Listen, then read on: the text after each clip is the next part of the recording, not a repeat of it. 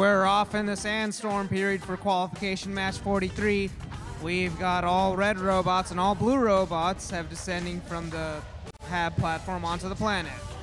Team 7427 looks to be lined up to place a hatch panel. Team 4026 placed a hatch panel in the sandstorm. Driver vision has restored here. Team 1795 has immediately crossed over from blue to red, but crosses back, decides not to play defense this time. Team 1414 IHOT trying to play, score some cargo in the cargo ship and successfully doing so. Looks like Team 1795 changed their mind again, this time to play some more defense, this time on Team 4026. Team 5482 on the Red Alliance decided to run interference against Team 1414 IHOT and play some defense. Protocol X Robotics scores some cargo into the first level of the red rocket ship. Meanwhile, IHOT attempting to do so on the blue cargo ship. We've got less than 90 seconds left now. Very close match, 22-23. Protocol X Robotics completes that first layer of the rocket. Se less than 75 seconds left now. 5482 doing a good job trying to box 1414 out from scoring cargo on that one side of the blue cargo ship. 1795 doing the same against 4026, preventing 4026 from scoring a hatch panel. And 4026 attempts to pull a beautiful juke and get around Team 1795. Less than 50 seconds left in the match now. Defender still wrecking some mayhem on each of these alliances. Team 4026 glides over to the human player station on the red side to get a hatch panel.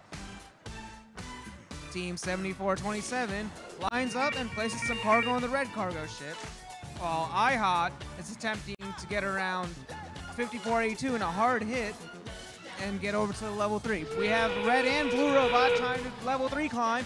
4026 flips over onto the third level. 14 14 climbs up onto the third level. We got 10 seconds left still. All of these teams are in the HABS platform. And the match is over. We will have your final score in just a moment.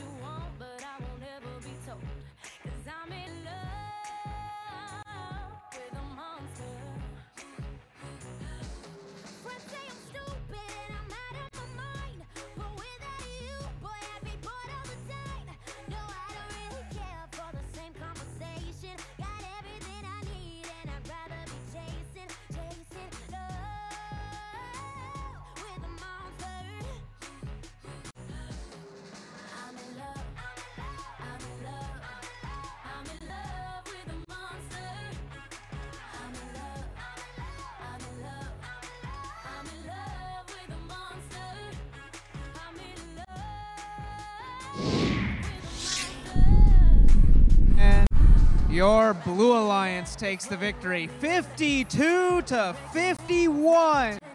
What a nail biter of a match.